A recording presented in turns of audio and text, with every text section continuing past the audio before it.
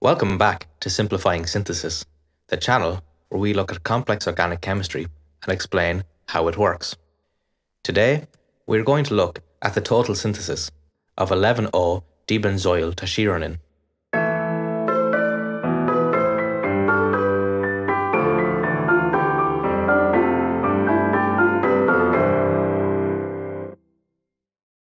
The work we are going to look at today was published by the Wang Group in ORGLET, entitled The Total Synthesis of 11O debenzoyltashironin via palladium catalyzed 5-endo ene-yne cyclization enabled trans 5-6 ring fusion. The compound that we will be looking at was isolated from the Illicium tashiroi plant. Plants from this family have been used in traditional Chinese medicine for many years for varying purposes and also used in cooking in the form of star anise. This molecule is being targeted for synthesis as it has interesting biological properties and has been shown to possess neurotrophic activity in studies where they administered it to cultured fetal rat cortical neurons at 0.1 micromolar and showed that it could promote growth of these neurons, suggesting that it has potential applications in treating neurological diseases. The molecule itself is a tetracyclic sesquiterpene featuring an uncommon allocedrane carbon skeleton.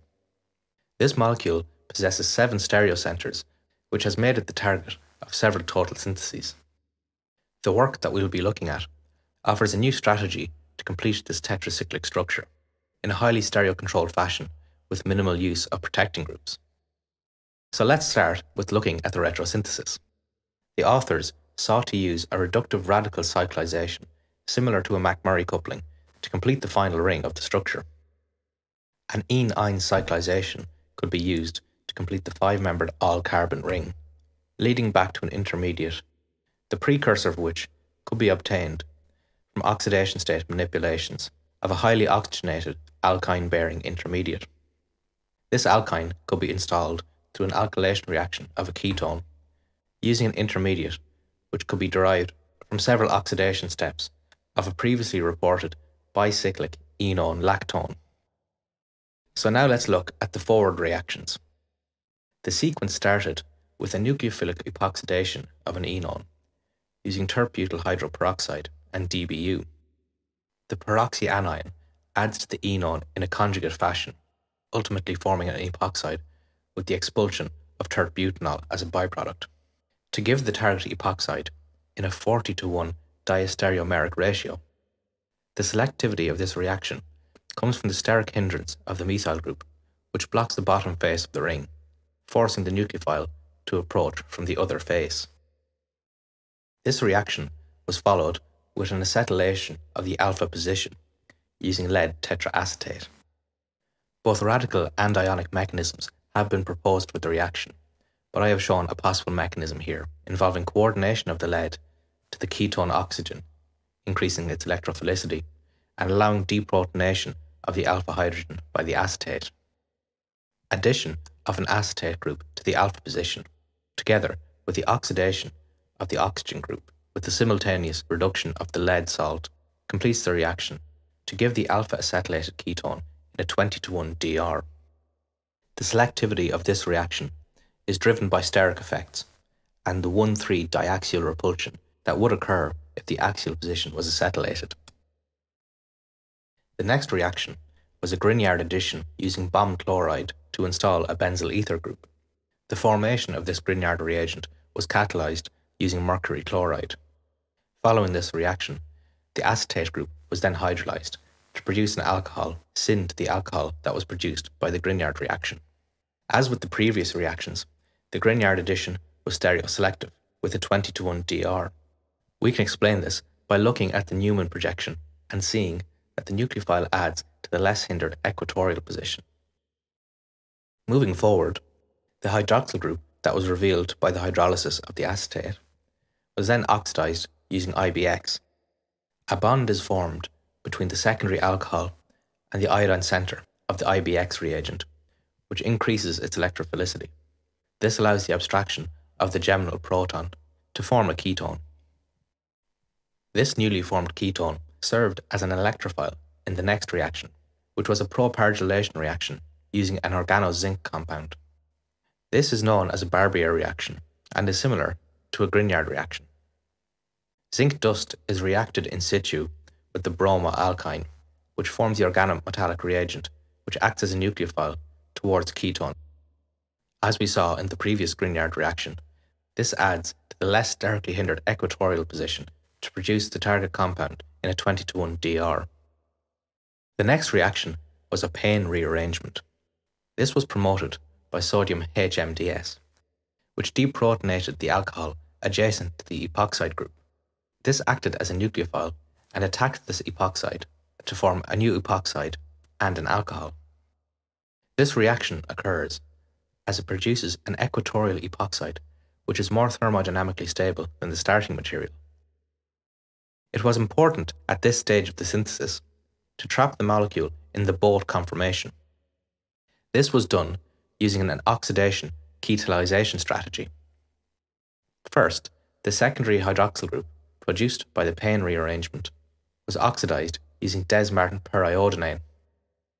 This reaction is similar to the IBX oxidation we saw earlier and involves reaction of the alcohol with the hypervalent iodine group and the abstraction of the geminal proton to produce a ketone. With this ketone now installed, it was possible for an intramolecular reaction to occur between the tertiary alcohol and the ketone to reversibly form an oxyanion, which was trapped using acetic anhydride to form an acetate ketal and lock the molecule into a boat conformation. With this conformation now locked, the authors carried out an isomerization reaction using TES triflate and lutidine. The TES group binds to the epoxide, while the base deprotonates the adjacent proton to carry out an elimination reaction to form an alkene and a TES protected hydroxyl group. This produced the alkene as a single isomer, which was confirmed by X ray crystallography. With the alkene now installed, the authors turned their attention to one of the most vital steps of this synthesis, which was an ene-yne cyclization. The palladium catalyst first binds to the electron-rich alkyne of the substrate, which promotes the formation of a carbon-carbon bond with the alkene, which reacts in an enolate type fashion to attack the alkyne and form a five-membered ring. The benzyl group is lost upon workup to produce an aldehyde. This reaction is quite unusual in that the reaction goes through a 5-endocyclization as opposed to the more common 5-exocyclization, which is disfavored by Baldwin's rules, which we covered in a previous video.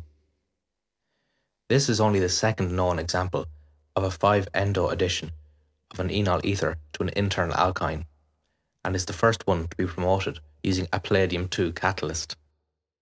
The next step of the synthesis was a reductive coupling promoted by titanocene dichloride. This was reduced using metallic manganese to produce the tin 3 compound, which underwent a radical addition to the aldehyde and promoted a radical carbon-carbon coupling between the carbonyl of the aldehyde group and the carbonyl of the ester group, and upon workup produced a 1 2 diol in addition to the carbon-carbon bond. This reaction is somewhat analogous to the more common McMurry coupling which occurs between two ketones. With the four rings of the tetracyclic target now complete, the authors entered the final stages of the synthesis, which was to install the correct functionality around the molecule. Reaction with fluoroboric acid first deprotected the TES group and then hydrolyzed the acetate ester, which was previously installed to lock the intermediate into the boat conformation.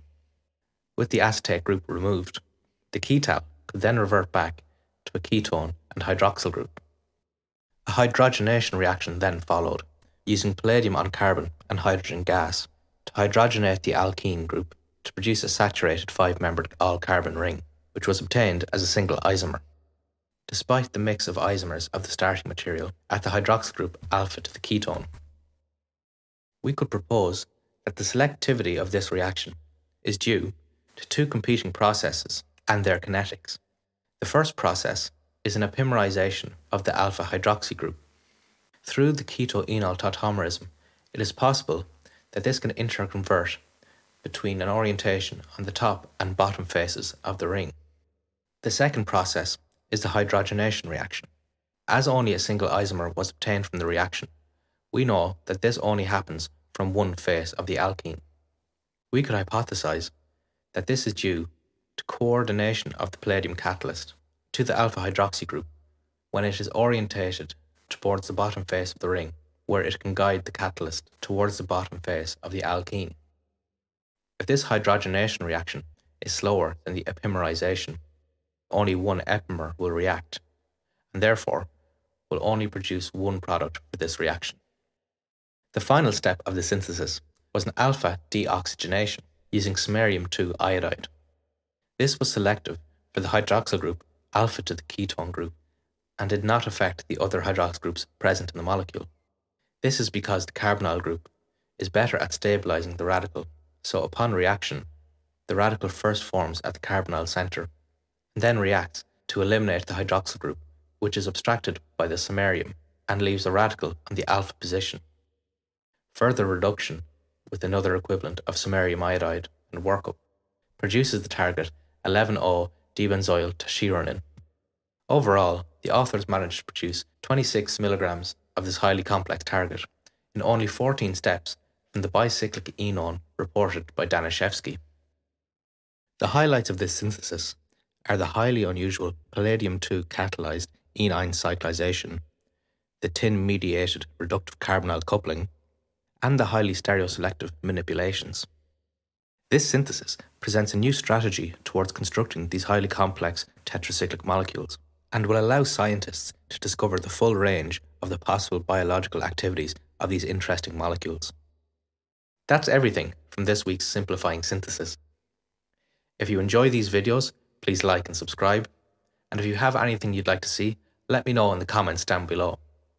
I'll be back again next week where we will look at the total synthesis of Ent plagiocyanin B.